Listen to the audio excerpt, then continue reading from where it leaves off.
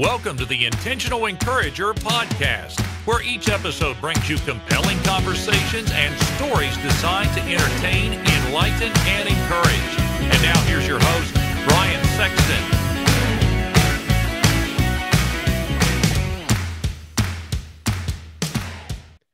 And welcome into the Intentional Encourager podcast. I'm your host, Brian Sexton. Thank you for joining us again today. I am in the presence of a rock star.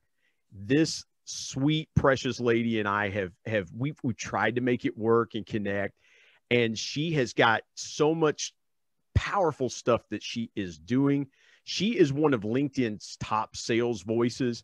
She helps startups hire sales leaders without the cringe. That's important, guys, without the cringe. And what I love, and we're going to get into her story. She's personally closed over 100 million in revenue and counting, and that's big. That is so big. That is so hard to do. But again, she's doing all these things. She is the co-host of the Thursday Night Sales Group on LinkedIn, and you can find her on LinkedIn at Amy Volas, V-O-L-A-S. But you can find her here right now on the Intentional Encourager podcast. Amy, how are you today? I'm doing really well. And this is something that we have worked really hard to do, and it's taken us some time, but good things come to those who wait. So thank you for the invitation. And I'm thrilled to to talk shop here with you. Thank you. Thank you. Absolutely. I, I want to ask you, you're an entrepreneur yourself. And so I really want to speak to the entrepreneurs for a few minutes and not trying to leave anybody else out of the conversation, but I want to speak to the entrepreneurs. Take me through the last year with with the pandemic because everything in business has has really changed and flipped on its head. Can it take me through the last year? What's happened in your business, life, things like that around this pandemic? So um, the last year is it's like a whirlwind. When I think back to it, it's like, wait, it was the longest, slowest, fastest year ever. um, because in a blink of an eye, a year's gone by. But during some of the harder times like this time last year, March and April were really tricky. And I remember completely freaking out and being really scared and sad about the fact that I had put my blood, sweat, and tears into business and being fearful that it was going to go away because I, I didn't know it was going to happen. And so I felt the effects. So, recruiting is the first thing that typically goes on hold during times of uncertainty or downturns and it's one of the very first things to come back. The good news for me was this was the third downturn or weird time I've been through in my career, and I I, I was poised for it. So I never bite off more than I can chew. I don't overhire in my own business. I have a quality first mindset. And so initially it was, oh my gosh, this isn't this isn't good. This is scary. I don't know. Clients mm-hmm. were um, clients were putting searches on hold and we also had offers that went away because their business was in jeopardy. And when that's happening i can't pull sales tactics out. It's like you have to meet people where they are and be understanding. And so um, as hard as it was for me it all of the things of giving my clients grace and understanding and our candidates grace and understanding through they think that they've got a job and now I have to deliver the worst news to say you don't. Um, not only did I have to put my own fears aside, but I had to tap into realizing that it was bigger than me. So I took a week off, like literally just freaked out, let myself feel the feels. If you go back to LinkedIn for that week, you'll never see one word from me. I, I literally just went inward and and wanted to think about what was happening and process. Yeah. At the end of that week, I realized um, I can't control pandemics. I can't control what people do. I can only control myself. And I love my business and I love what it represents. And I, lo- I have a firmly planted why. And this is my second venture as an entrepreneur. And regardless of what the outcome was going to be, I was going to control what I was going to control. And so from that point forward, really March and April were tricky in my business. But after that, my business I, I've had the best year I've ever had of my business. Right. And, wow. and I mean, I'm proud to say that that came through blood, sweat, and tears. I've never worked harder. I've never invested myself more into something, and I'm already a hard worker. Mm-hmm. Uh, so that leads then to the personal side. So, like the professional side, my team grew, We have phenomenal clients. We have phenomenal relationships in tech. We're doing good business. I'm really proud of that. But that also came with an expense of my time, right? So when you're locked up, so to speak, yeah. Um, all I had to do was work. I'm not a big hobbyist. Uh, work is personal for me. It's more than just a job. It's more than just a business. It's more than just making money. And I overextended. So I fell into this community called Thursday Night Sales. I didn't realize at the time how poignant and special and important that work would be.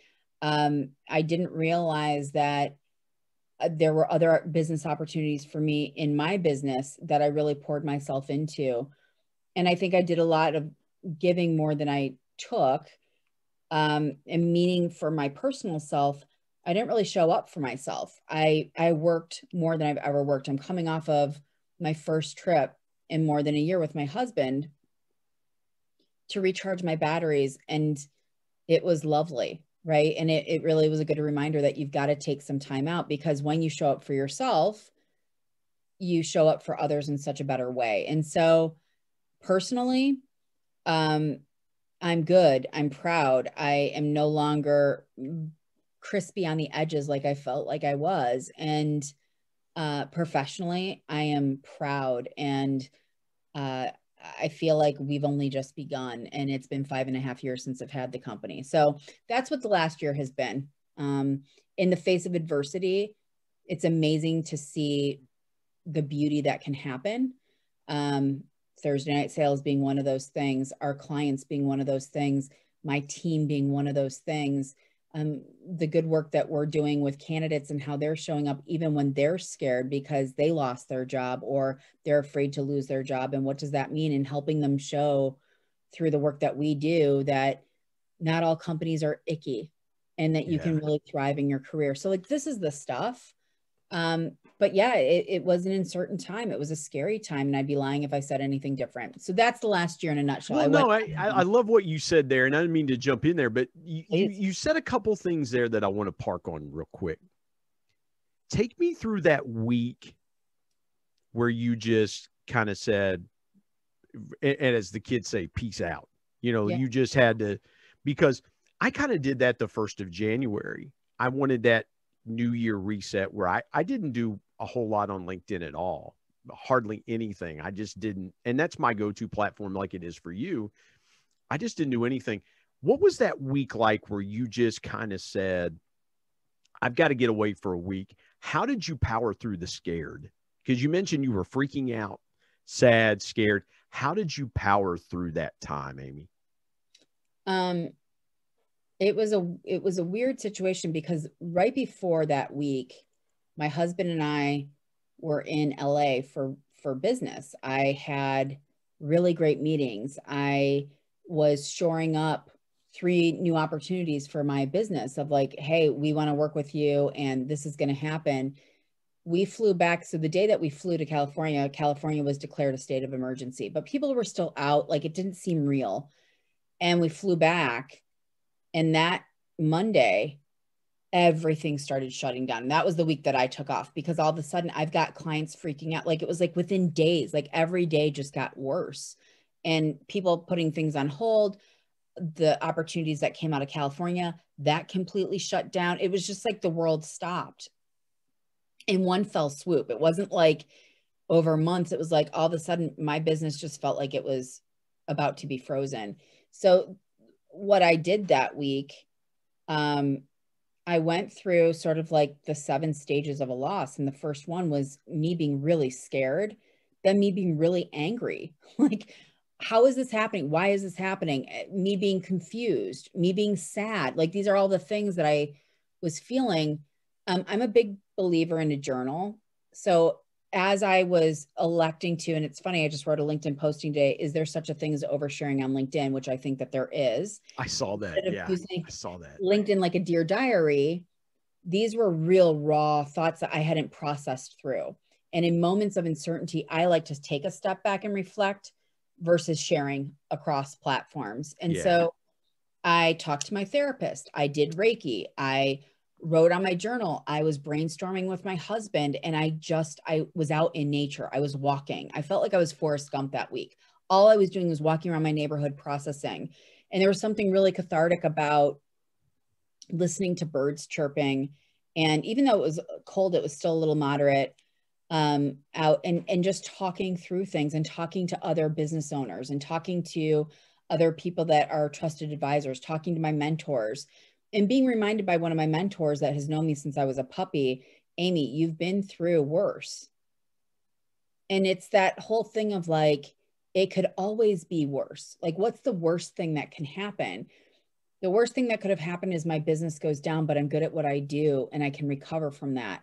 And before my business would ever go down, I would fight like heck to make sure that it didn't. Yeah. Right. And so that's when that that last statement for me was the end of the week where I was like, yeah. So then like all of those emotions turned into like, ain't nobody going to get this chick down. You know, I see on. that about you. I see that about you. And I've noticed that. And that's what I have loved about about you and following you and, and us interacting and things like that is you take you take the aggressive and I don't mean that in a bad way, but you come at it going, listen, I don't care what lion or giant I have to fight today.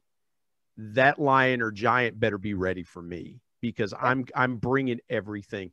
And I love that about you. And some people might say, "Oh, well, just she's so sassy or she's a," but it, it is that confidence in knowing what you've overcome.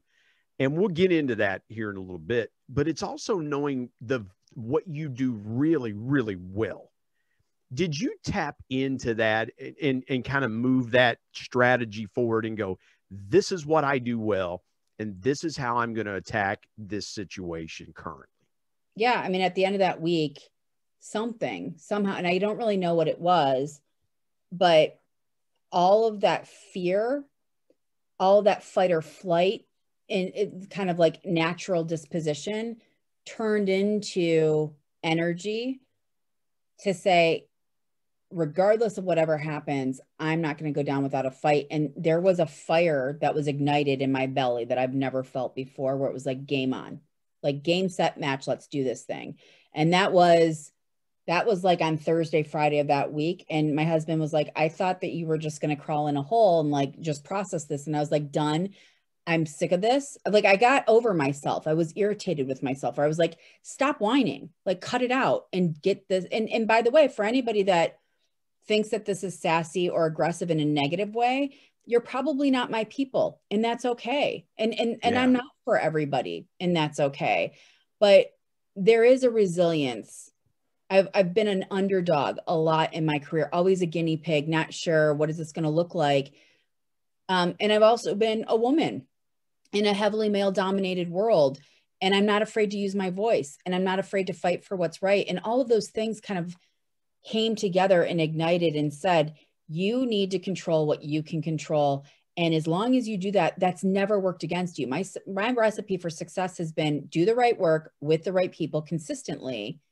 And I did those things and I'm okay. And I'm proud to say that I'm okay. Yeah. And um, I didn't, I, I don't identify so much with like victim entitle mental entitlement mentality. That doesn't, that doesn't really bode well with me. I don't get caught up in what everything is wrong. I get caught up in what I can control. And so that's it. what I did. I love it. Let's take a quick break because I want to ask you about something you said just a minute ago. Yeah. About a skill that most people don't don't use quite often, and that's the skill of grace. Because I, I love what you said there. I'm going to extrapolate a little more conversation out of that. Also, I'm going to talk about what's in her profile, about what gets you out of bed every morning. I know my answer. I want to know what gets Amy out of bed every morning. Come back with us, my special guest, Amy Volas, here on the Intent.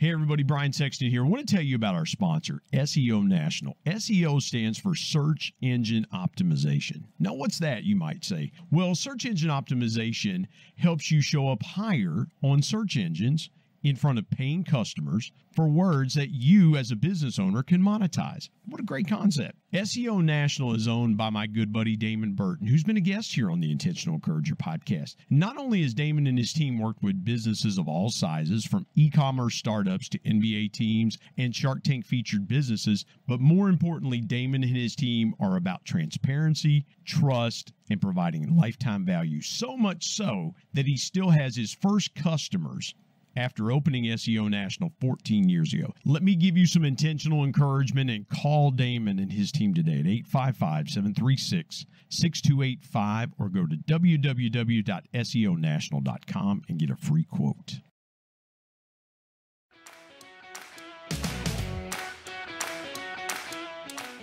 Amy, I love what you said about grace because I, I, I see if the pandemic has taught us anything, it's the power of grace. People are are more flexible than they've ever been. Obviously, the work from home situations, um, people are more responsive. It feels like to things, and and and I want you to walk us through the power of grace because when you said that, I was like, oh, okay, ding, ding, ding, ding, ding. I got to write that down I don't think that that we have a lot of grace on ourselves a lot of times. We, we're harder on ourselves than we need to be.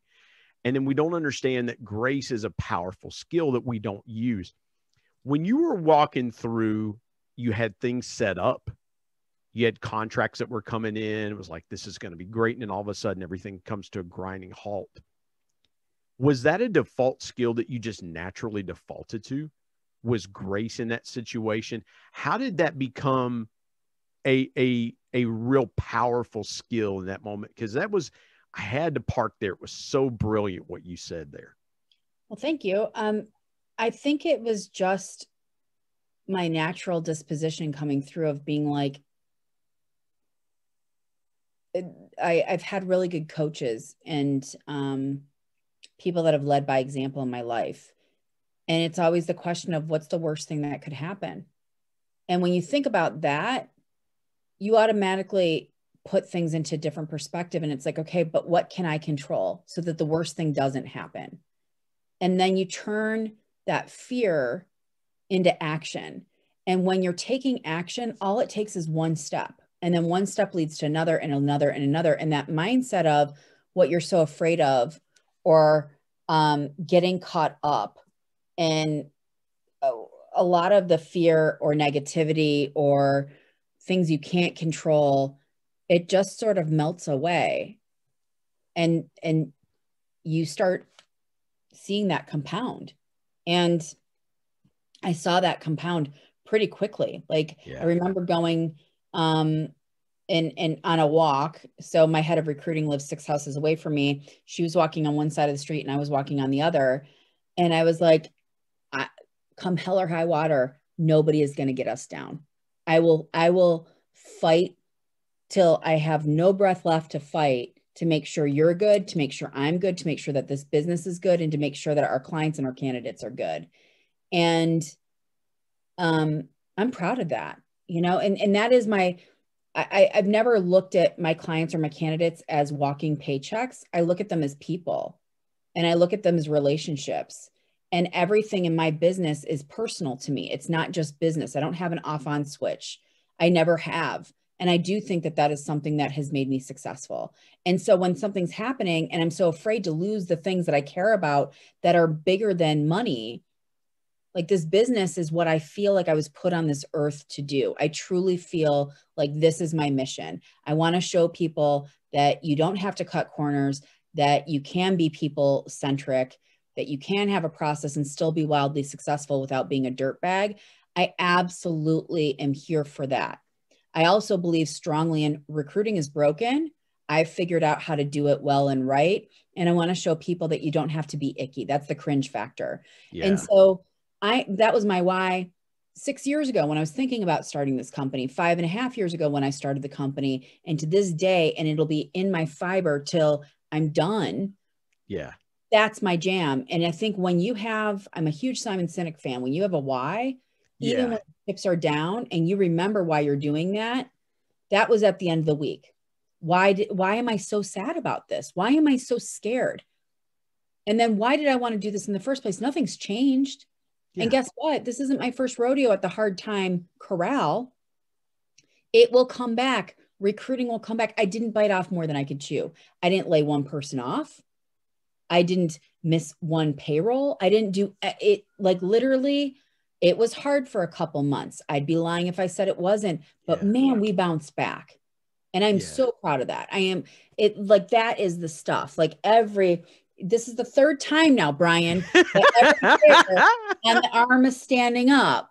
Um, you got me all in the fields, but like seriously, I- I'll look back on this time and I will be so incredibly proud. I already am. And and it means something. You should be. You really should be. And and and again, Amy, here's the thing that that I, I love what you said there. And let's go here for a minute. I wasn't going to ask you this, but let's go here for a minute. Yeah. You you were talking about Simon Sinek. I'm a huge Simon Sinek fan. Start with why. That book changed the way I use the word why. Me because too. now I started thinking to myself, okay, why can't I do this? Why can't this happen? There are so many people in, in sales. Let, let's go here for just a quick second. Let's layer on top of this. You and I both have strong backgrounds in sales. Why do you think why is the hardest question for people to ask other people? Um, I think that they might be afraid of what they might hear, or they don't really care to know they're just going through the motions of autopilot. So, like, especially in sales, yeah, we're trained to just go through process like step one, step two, step three, step four. And when you're just going through the motions, you're not thinking about the root. And I've never thought that way. I don't care about your KPI over my head, your goal, your process. I care about the fact that I'm trying to do business with somebody else yeah. And that trust and respect is an earned thing. When I have that, I've always been really, really successful. And so that's just noise to me. Like it's good to have goals. It's good to have KPIs. I'm not, I'm not questioning that or saying that that's a bad thing, but that's not what I lead with. I lead with, I came here for a reason. I know what that why is. And because of that, it ignites me wanting to do the right work consistently with the right people. So I think most people reverse it. They think about the outcome first and the process to get to the outcome, and they're not thinking about the why. And because of that, then you take a backseat approach, or that commission breath happens that, um, you know, we hear about so much. It, it, it's like all of these different things start to happen because I'm just thinking about what's in it for me only. And when you think about that, you don't care about why. You yeah. just care about your own agenda. And by the way, that comes through. Yeah, that was the greatest liberator for me was when when I didn't when I wasn't on commission. And I don't listen, I don't knock people that, that are on commission. It, it, it is a motivator. But for me, that was the greatest liberator in sales was like, okay, I can be authentic now and I can sell like myself. I can be me to sell authentically, genuinely, putting my customer first, always making sure that their needs are met and they're taken care of that the buying experience is so so genuinely pure that there's nothing that stands in the way. And i love what you said there. That, that is so good. I got to ask you this before we take a break and, and get into your story. What gets you out of bed every morning? You asked that on your linkedin headline so i'm gonna i'm gonna turn the tables on you amy. What gets you out of bed every morning? I like there's a few things. First and foremost I like solving the problems that I like to solve. Right. And so um, the biggest problems are helping people come together with other people to do business. Ultimately, that's what recruiting is. And it is a big problem. And I'm here to solve it, especially for what I do with startups that um, this is new and it's foreign and it doesn't come naturally when it comes to hiring a sales leader uh, so that that's really cool. Every client, every situation is different. I always have to put on my critical thinking hat. So that's like the first thing that that gets me out of bed in the morning. But the other thing is I just love the whole dynamic of what makes somebody tick and understanding that and realizing that everybody has their own specific footprint, right? Nobody has the same footprint. And what is it about yours that makes you you? And learning about that and understanding that and learning from it, right? I get inspired by people all the time. they get me thinking in different ways. Yes, I'm outspoken. Yes, I have very clear opinion, opinions on things, but make no mistake, I'm always listening and I'm learning from it, even if I don't agree. Yeah. And so um, that's the stuff for me. Like I, I get excited to like tackle the day that way. My wife pushes me out of bed. She says, honey, it's time to get up. we really cannot lay here any longer. It is time to get up. And when, when you've been married almost 25 years like I am, you learn to listen to your wife. Guys, listen. If I'm talking, let me talk to the men for a minute. Listen to your wife. You know, that's it's, you know, that's the that's the encouragement I can give you. Let's step aside, take a break. I want to get into Amy's story when we come back. She has a powerful story, and I wanted to share it with you. Back in a moment with Amy Volas here on the Intentional Encourager podcast.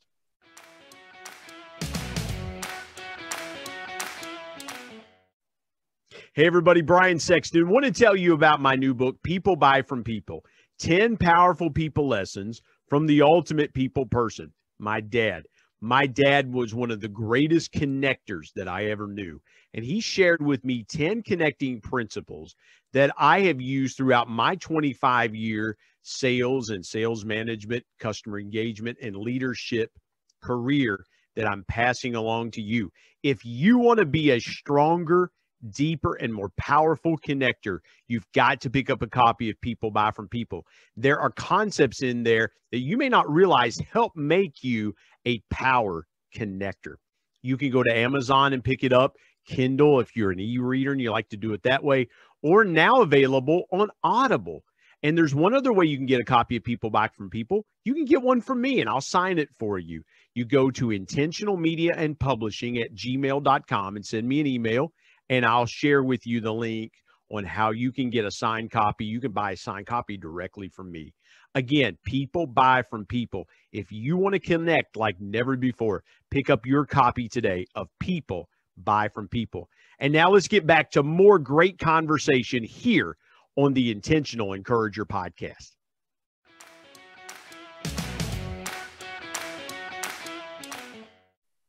Amy, take me as far back as you want to take me point A to point B. Um, I went to, I intentionally went to break a couple minutes early because I wanted to give you that space and room to really tell your story.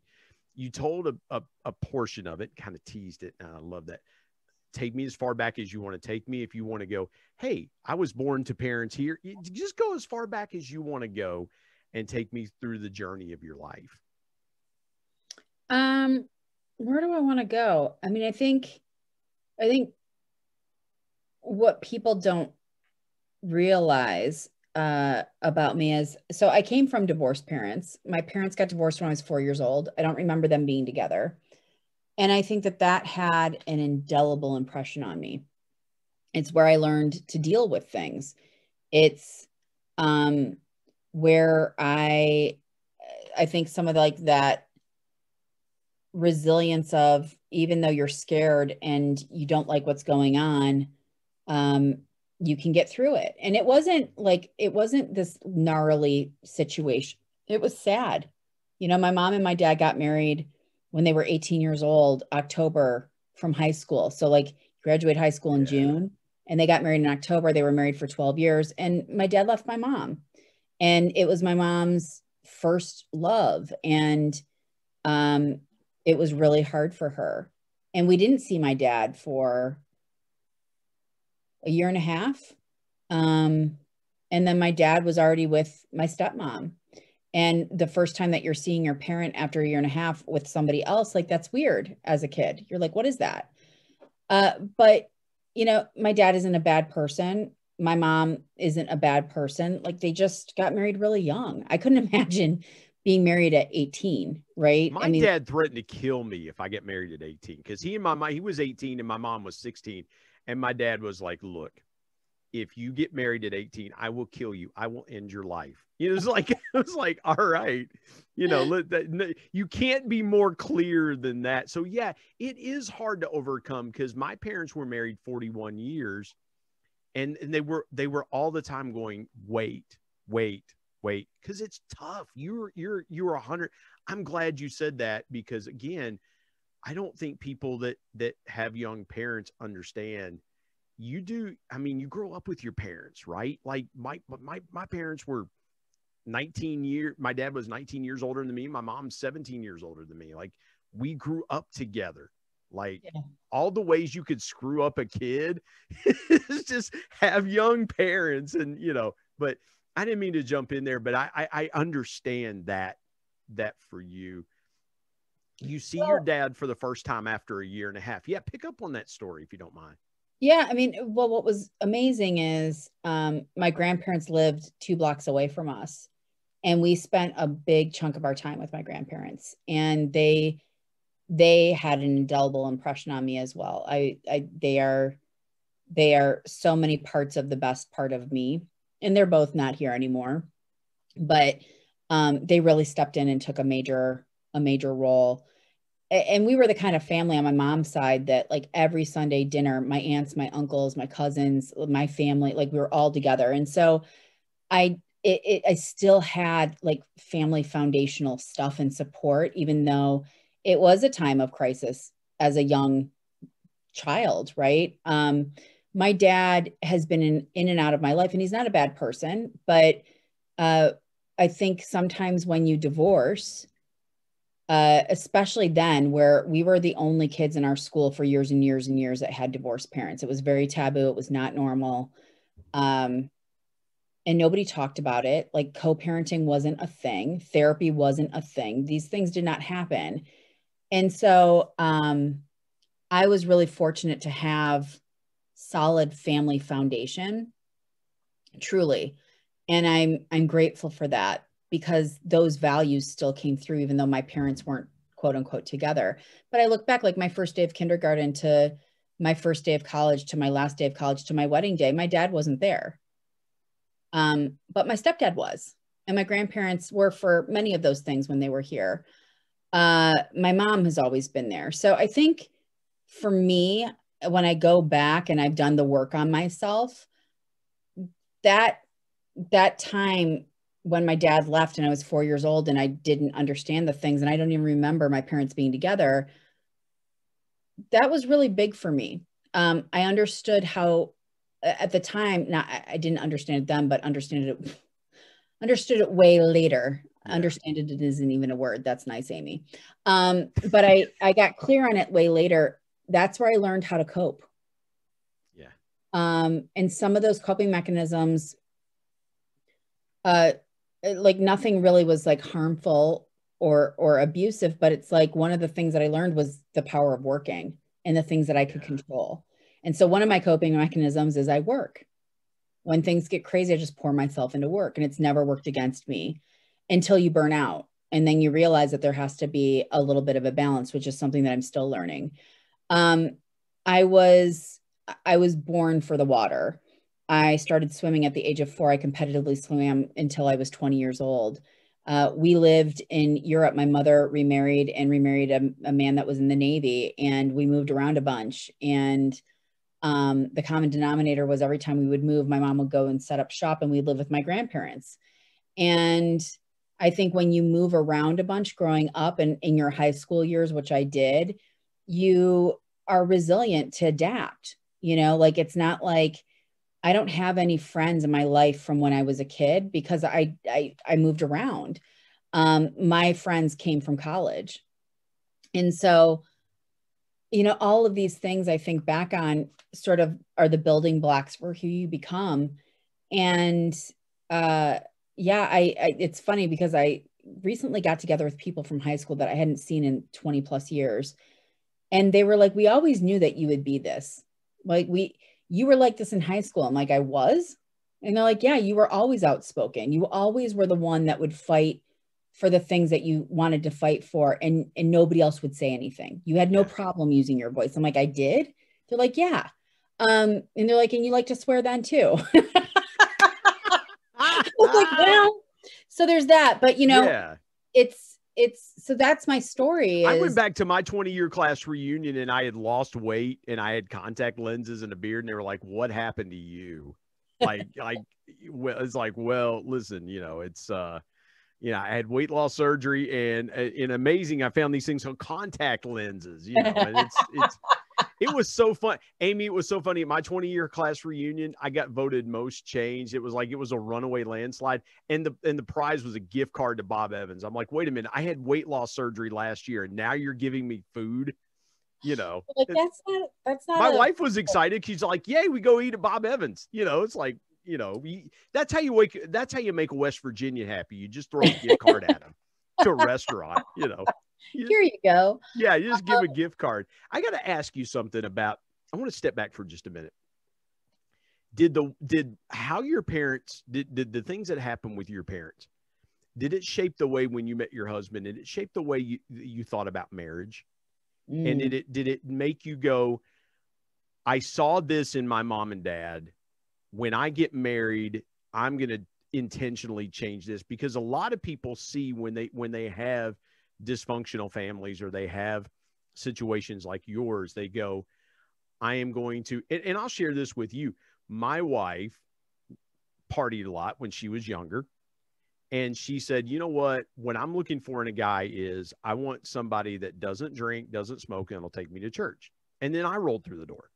And and so it was kind of like everything that I that that that that she saw that she didn't want was what she wanted in a husband were you kind of that way with with how you approached marriage seeing what happened to your mom and dad Uh, no, I, I think I went the opposite way.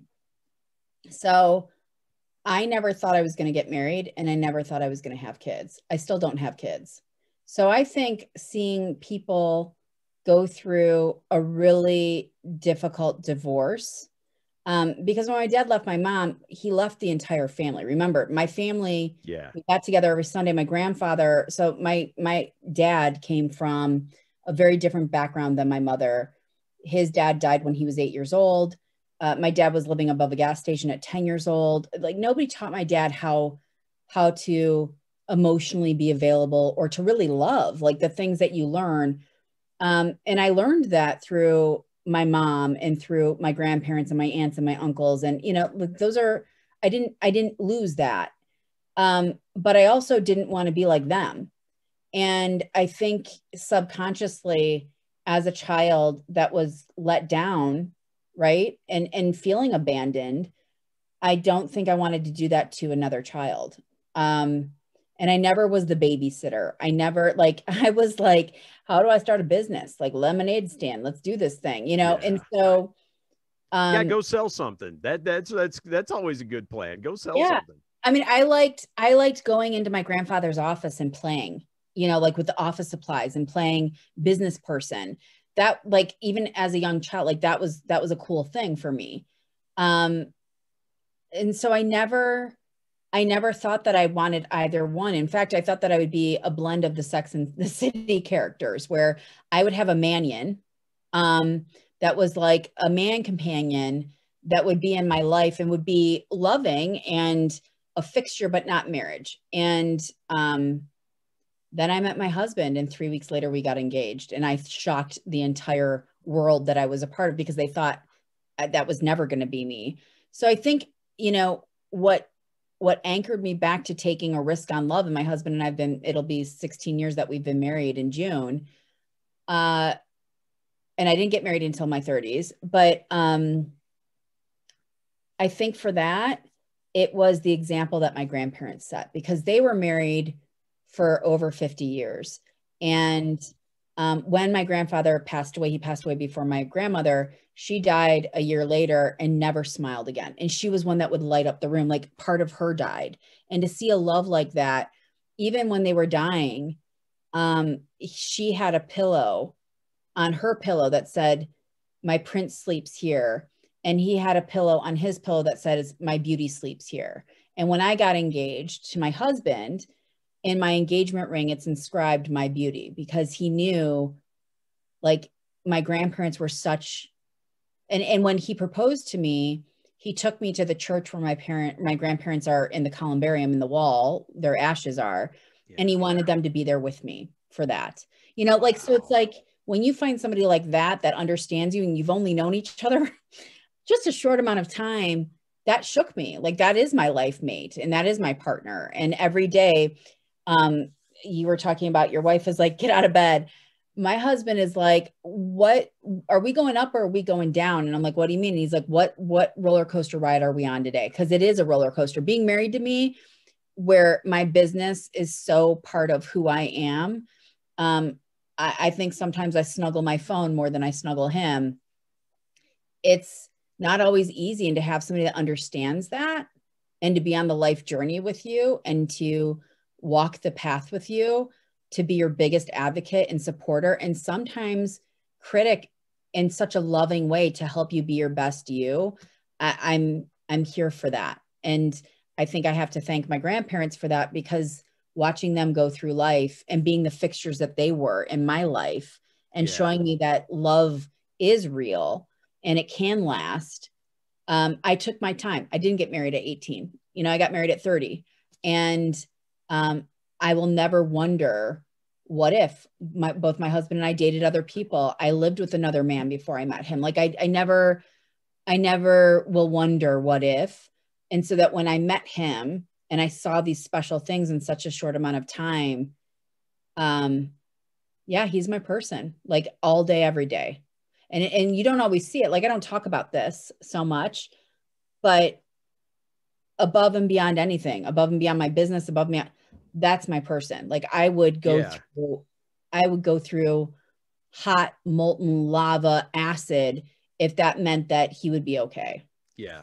Well, and again, that's why that's why in in in full disclosure, that's why I dogged you for a year to connect and do this because I knew there was depth behind you because you could just see it. I knew there was like I got to find out more about her story and and when you were talking about your grandparents, we lived next door to my wife's grandparents who were married for 70 years. Mm-hmm. And when she, when my wife's grandmother passed away, you know, my, her granddad, which we just lost him in November, he was 98. And, and I, you know, he always said, I wanted, I want her to go first because she would never make it without me. But he just kind of existed. He did well but he was just kind of it was kind of like it was just just different for him. And you you really i love how beautifully you said that. You understand and this is what i tell my 20 year old i say look one day you're going to meet the love of your life the person that god specifically created just for you. You may know her you may not know her. And in your case you meet your husband and get engaged like my wife and i met on a blind date in late December, and by July we were engaged. You just know you when you when you and I was 24, you were 30. At that point, you just kind of like, and my wife was 26, and she's like, I just knew you were the guy. I'm like, yeah. And it took me a little longer to figure out that she was the girl, but I, I figured it out. When you think about that time in your life now, where you could, let me ask you this. Yeah you got you got engaged at 30 if you could go back now and spend an hour having coffee with 29 year old amy what would you say to her? Wow. Um i would i would probably tell her to um start doing therapy sooner. Because you know I didn't I didn't start therapy until my mid 30s and I'm really bummed that I waited that long. Uh, because the minute that I did, I mean, Chris, my husband and I, we've always been fine. But like every relationship, you go through things. And I think the things, so, you know, my first business that I started was in 2008. And that was a really hard time. And, and the business for me didn't work out. And, um, there was a lot of humble pie that I was eating. And it was it was during 2008 in a downturn. And when I started the business, it was before the downturn hit. And to go through a seven figure pipeline and in one fell swoop within two weeks to have it go to zero and to have people tell you we're not going to talk to you again for at least two and a half three years and we were bootstrapped and we didn't want outside funding like these were big conversations uh, and my husband supported me 100% and and having to say out loud it's not going to work and, and feeling I was disappointing him, disappointing myself. Like you go through things. It was a really, yeah. it was a, it was a very dark moment in my own life. And, um, you don't realize that your life is like a puzzle. All the pieces go together. So four year old Amy to, you know, 2008 Amy, those, th- those things correlate. And I really wish because I don't think I was so fun to deal with at that time, if I'm being honest. And um, I wish that 29 year old Amy would have already gone through therapy and leaned into that because yeah. it's then how you realize that there are tools out there to help you through hard times, to help you through good times, to help you be your best version. And the minute that I did that, I was a better person for my husband, for me, for my family, for my friends. Um, and then I had to peel off some relationships that weren't so good for me. It was yeah. this clarity of boundaries and um and so that's what I would have said to myself.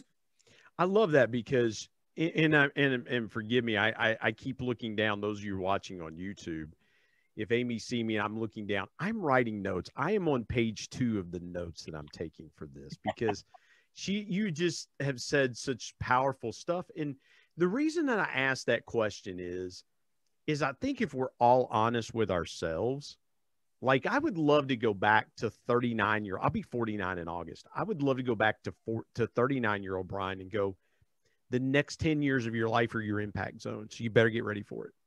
And I wish I could go back to 29 year old Brian and go, dude, you have no freaking idea, like like how lazy you are as a salesperson, as a husband, like you've got all this potential inside of you and you're just lazy. Like I would love to just I probably would punch my 29 year old self. I'd probably be like, you idiot. How stupid are you?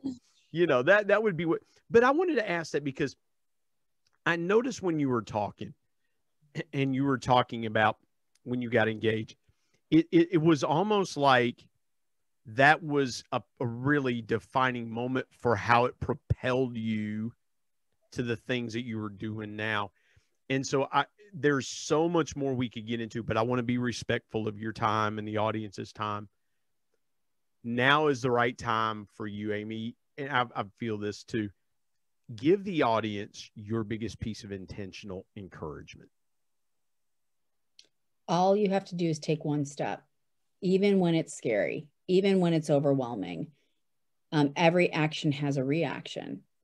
And um, sometimes that step is a really big leap of faith, but these things compound. And when I think about all of the things that I've done that have been good decisions, whether it was the fact to take a leap of faith and, and go down this path with my husband, whether it was last year and taking a leap of faith to control what I could control and to try to snuff out the noise around me, whether it was, um, you know, my parents' divorce and and deciding that I I didn't want to be a victim, that I wanted to just live my life uh, and do it the best way possible.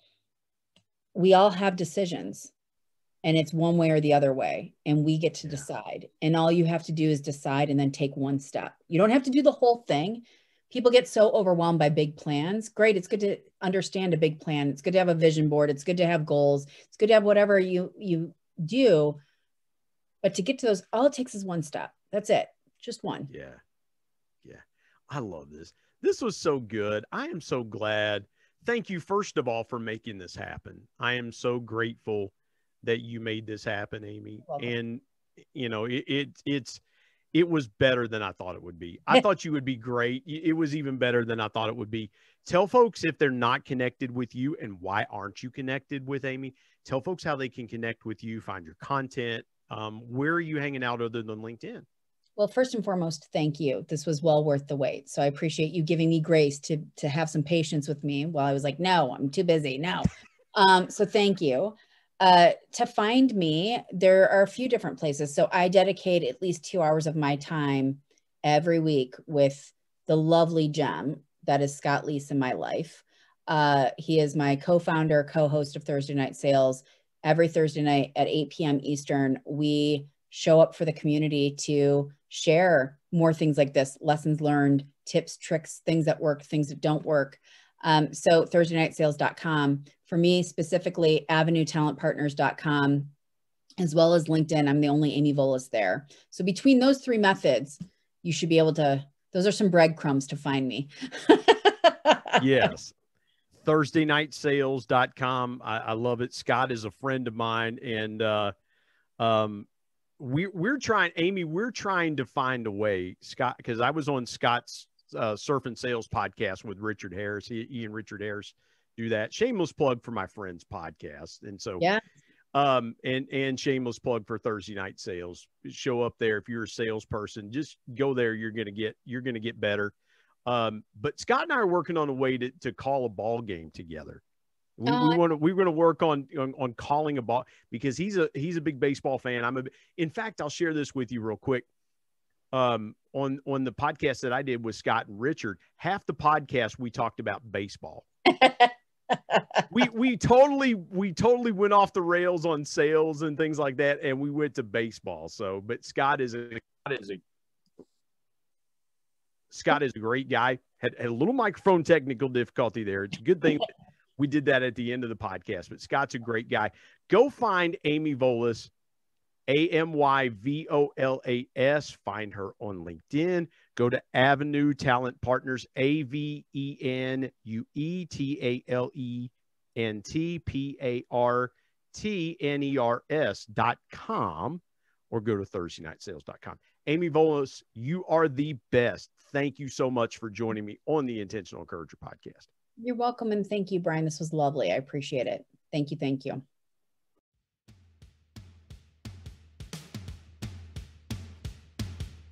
My thanks as always to producer Bryce Sexton and technical advisor Matt Means. And of course, the ultimate thanks goes to the Lord Jesus Christ, who provides intentional encouragement every day through his word. If you're not subscribed to the Intentional Encourager podcast, hit the subscribe button wherever you get podcasts so you don't miss an exciting episode where you can get encouraged and stay encouraged. And remember, anyone, anywhere, at any time, any place can be an intentional encourager.